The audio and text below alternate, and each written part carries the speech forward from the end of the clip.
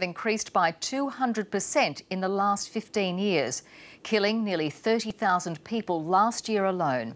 And statistics show why the problem is hitting home with mainstream Americans.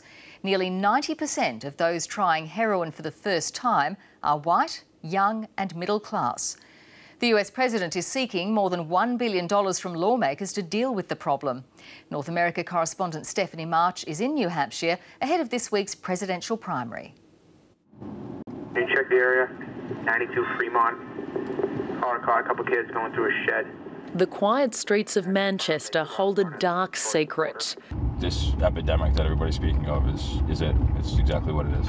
In the five years Officer Derek Feather has patrolled these streets, he's seen the number of drug overdoses skyrocket. They have a tendency to hang out in the alleys. They lean against the fence, they hide behind a trash barrel, they use their drugs there, and they'll enjoy their high. Now, when you see that heroin is less than a six pack of beer, that's a problem. Local authorities are struggling to deal with the epidemic. More than 400 people died from drug overdoses in the state last year, up from less than 100 in 2013.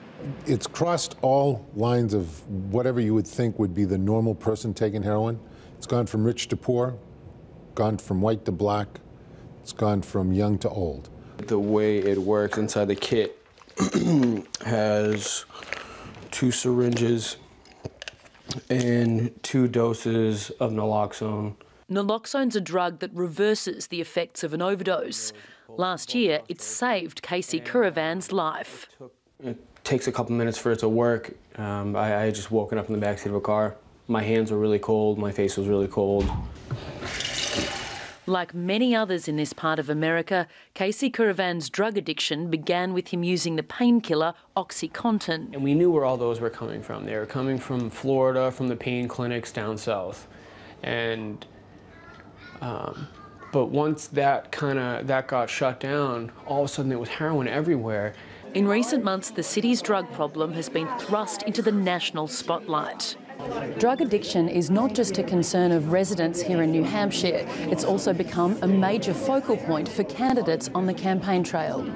And some know firsthand the perils of drug addiction. We lost our daughter to addictions.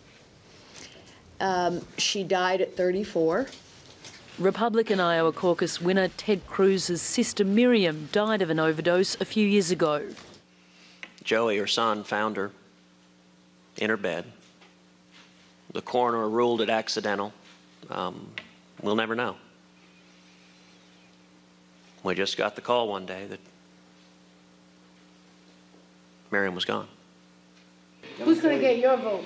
At this recovery clinic in downtown Manchester, clients are taking the election season seriously. There are 23 million Americans in recovery. How many family members do they have? Millions and millions of people can relate to this issue. She says there's a lot the next president can do. I'm still seeing family members in here that are cashing in retirement funds, college funds to get their children help. And that's awful. Thanks to support from a recovery program, Casey Curavan hasn't had a hit of heroin since August and is turning his life around. Today's the day I got custody back of my son. How does that feel? It's pretty kick-ass. it's pretty awesome.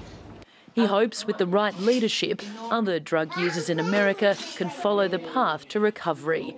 Stephanie March, ABC News, Manchester. Across Asia, more than one and a